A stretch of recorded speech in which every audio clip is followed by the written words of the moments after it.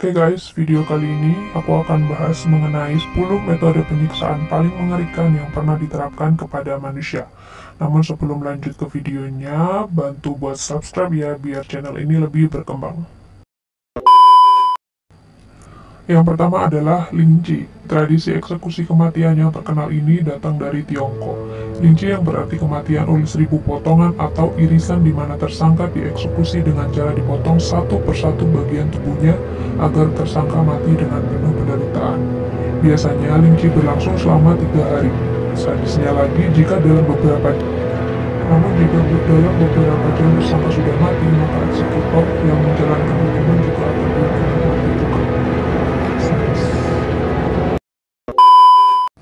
Jenis hukuman selanjutnya adalah red torture. Salah satu hukuman paling sadis dan menyiksa yang pernah diterapkan adalah red torture. Eksekusi ini dilakukan dengan menggunakan kandang tikus yang bagian sisi bawahnya terbuka, kemudian diikat ke tubuh korban.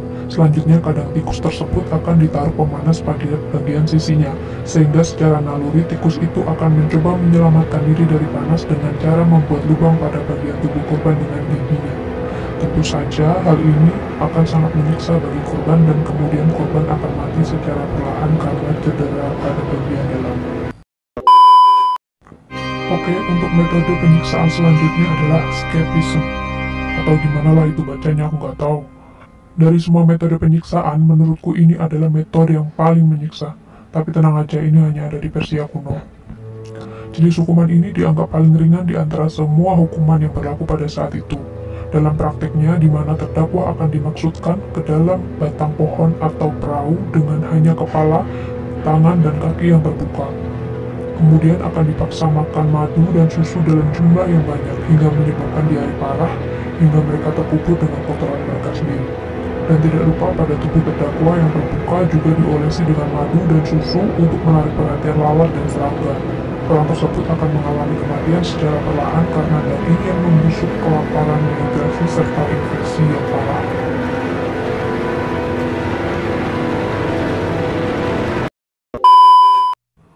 Lanjut ke metode penyiksaan selanjutnya adalah Chinese Torture Chair. Metode penyiksaan ini selanjutnya masih dari Cina, di mana terpidana dipaksa duduk di kursi yang sudah dimodifikasi sedemikian rupa agar terpidana tersiksa dan mati secara perlahan-lahan. Mulai dari tangan, kaki, punggung, semua dipasang dengan besi-besi tajam seperti paku dan besar. Capek guys, ternyata ngedit doang. Bentar, rehat dulu ya. Metode penyiksaan selanjutnya adalah medieval torture. Hukuman ini dilaksanakan ketika sedang musim dingin, di mana terdakwa akan ditelanjangi dan diikat ke sebuah meja. Kemudian Algojo akan mulai menyiramkan air dingin setiap hari yang kemudian membuat terdakwa membeku dan mati secara perlahan dan menyakitkan. Oke, yang ketujuh adalah impalement.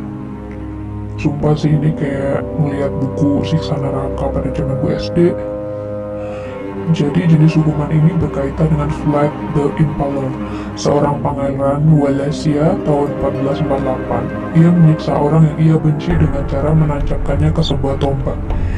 Ya, untung gue gak jadi mantannya pangeran ini. Korban akan dipaksa untuk duduk di sebuah tombak yang panjang dan runcing. Gila, ketika tombak tersebut dinaikkan, korban akan semakin tersusuk oleh tombak tersebut. Setidaknya butuh waktu tiga hari sampai korban korban benar-benar mati. Aduh, nyiksa banget ini, sumpah. Untuk metode penyiksaan selanjutnya adalah the rack. Alat penyiksaan ini terbuat dari kayu, di mana cara kerjanya adalah korban akan diikat di atas dengan posisi telentang, kemudian kedua tangan dan kaki akan direntangkan, lalu diikat pada sebuah balok. Kemudian balok tersebut akan diputar yang menyebabkan tangan dan kaki korban akan ditarik ke atas dan ke bawah hingga putus. Alat penyiksaan ini biasanya digunakan untuk menyiksa korban agar memberitahu sejumlah informasi atau menghukum pengkhianat.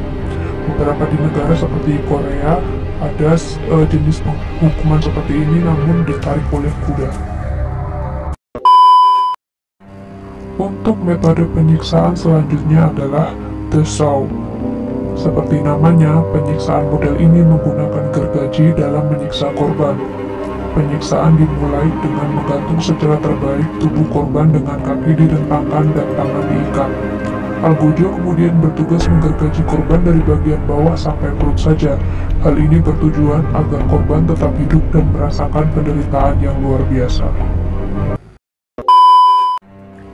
Oke, untuk alat penyiksaan yang terakhir adalah Peer of Anguish. Ya, pokoknya itulah. Seperti namanya, alat penyiksaan ini berbentuk seperti buah pir dengan tambahan empat bagian yang menyerupai daun yang bisa terbuka.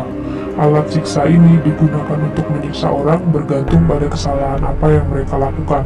Seperti jika seseorang berbohong, maka alat ini akan dimasukkan ke dalam mulut. Dan apabila berzina atau memperkosa, maka alat ini dimasukkan ke anus. Ketika ujung alat ini dibuka, maka empat daun akan membuka dan mengakibatkan kerusakan pada organ yang dimasuki oleh alat ini. Oke guys, sampai segini aja video kali ini. Semoga bermanfaat dan jangan lupa untuk di subscribe dan see you on my next video.